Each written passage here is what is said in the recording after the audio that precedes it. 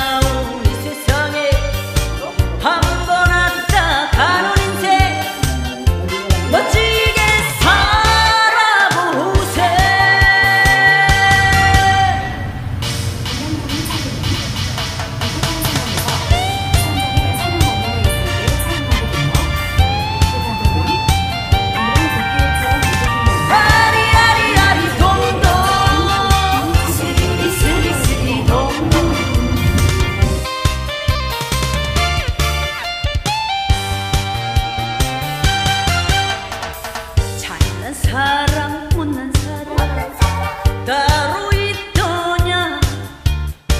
서로 믿고